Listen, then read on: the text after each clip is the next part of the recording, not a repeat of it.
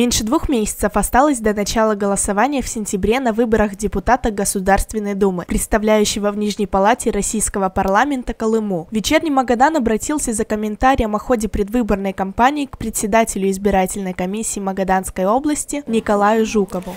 Действительно, вот буквально в конце прошлой недели у нас завершился, наверное, один из самых важных этапов. Это этап выдвижения кандидатов, ну и, собственно, из списков избирательных объединений. Единственное, напомню, что если для избирательных объединений политических партий выдвижение списков, а они это осуществляли а, непосредственно представляя их в Центральную избирательную комиссию, завершился 13 июля. Для самовыдвиженцев это, э, этот этап завершился 12 июля. Ну а вот для кандидатов, которые выдвигались политическими партиями, у них было время после того, как партии представили списки одномандатных кандидатов в ЦИК, дойти до окружных избирательных комиссий. Я напомню, что наша избирательная комиссия Магданской области является одновременно по решению Центральной избирательной комиссии избирательной комиссии одномандатного 116 избирательного округа, это вся Магаданская область. Вот, до 23 июля у них было время до 24.00 а, представить все необходимые документы нам здесь в Магадане в окружную комиссию.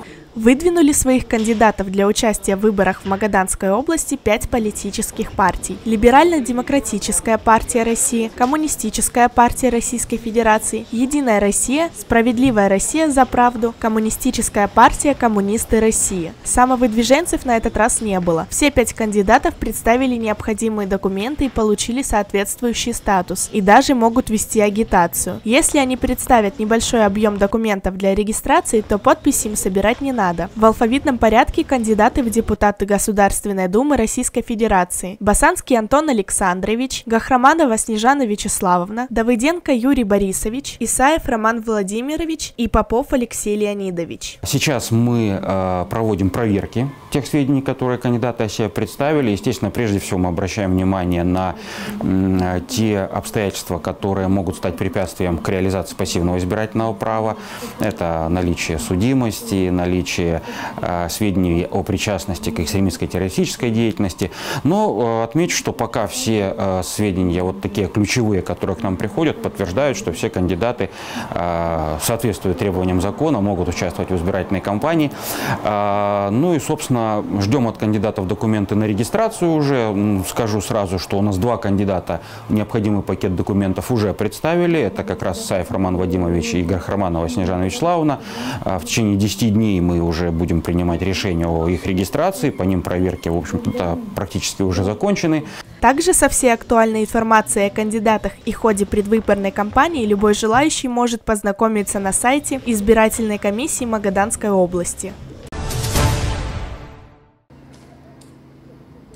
Совсем скоро завершатся дорожные работы от улицы Гагарина до Марчиканского переулка. Капитальный ремонт дороги реализуется в рамках Всероссийского национального проекта «Безопасные и качественные автомобильные дороги». Сам участок длиной более 360 метров, а ширина дорожного полотна составляет 13,5 метров. На сегодняшний день на этом участке полностью выполнены все подготовительные работы и выставлены бордюрные камни практически на 80%. Кроме этого, на нижнем участке дороги полностью произведено асфальтирования. Подрядчик инициативно выполнил работы по озеленению, хотя в контракте этого оговорено не было. Дополнительно, ну, в благотворительных целях произведено э, асфальтирование э, дорожки возле памятника грекам.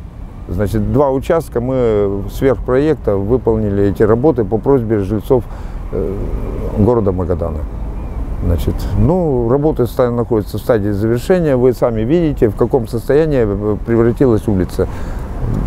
Благоприятно выглядит. Что касается верхнего участка дороги, то там специалисты немного отстают от плана, потому что параллельно ведутся работы по прокладке тепловых сетей и холодного водоснабжения. Закончить все сотрудники Магадан теплосети должны к пятнице, и затем в ближайшие 2-3 недели этот участок дороги полностью сдадут в эксплуатацию. Чисто визуально, физически полностью выполнены все проектные решения. Но э, все подрядчики знают, и мы знаем, э, будут э, после окончания работ проведены лабораторные испытания асфальтового покрытия.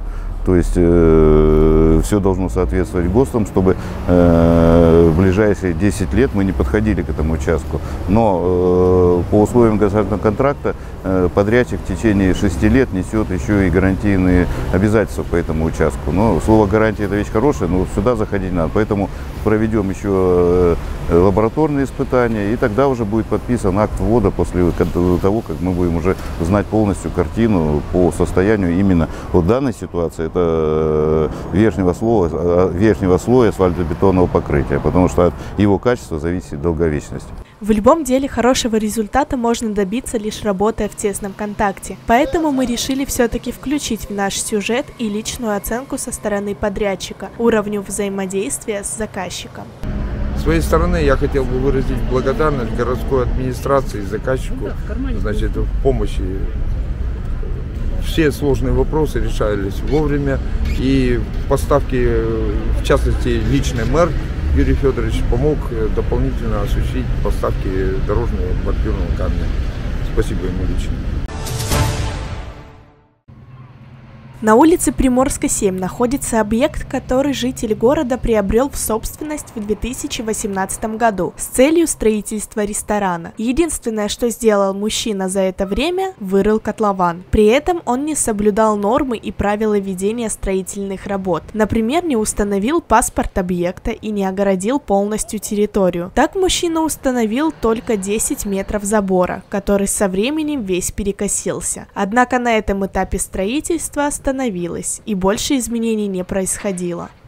Административно-техническая инспекция э, собирали материал неоднократно. Уже более пяти материалов собрано, э, было, э, материалы переданы в суд, было судебное решение по привлечению гражданина Рыбина за несоблюдение этих норм. Э, Но, как вы видите, этот объект в том же плачевном состоянии. Нет ограждения, нет освещения, нет переходных мостиков, э, разбросаны строительные материалы, что может повлечь какие, э, любые травмы, как детей, как жителей. Вот хотелось бы призвать и конкретно этого предпринимателя и других по соблюдению норм и правил при ведении строительных работ. После принятого судебного решения судебные приставы будут взимать штрафы, которые наложены судом. С каждым разом они будут больше и в конце концов могут привести к изъятию объекта из собственности, потому что собственник не делает те работы, которые он обязался сделать. Хотя получено э, как согласие от э, гражданина Рыбина, что он законсервирует этот объект, э, будет выставлен забор, будут убраны плиты, будут все, э, ну, все правила соблюдены. Вот. Э, ну, веры на это нет. Если этого не будет, мы опять будем привлекать его в административном, собирать материал для административного привлечения, ну а дальше опять суд. И вот здесь уже э, будут санкции достаточно э, жестче. Таких недостроенных объектов в Магадане вполне достаточно. Большинство из них заброшены. Директор Атиры сказал, что бывает, когда колымчане прогуливаются по лесу, встречают на своем пути небольшую железнобетонную избушку, которая в итоге оказывается полностью забытой собственниками.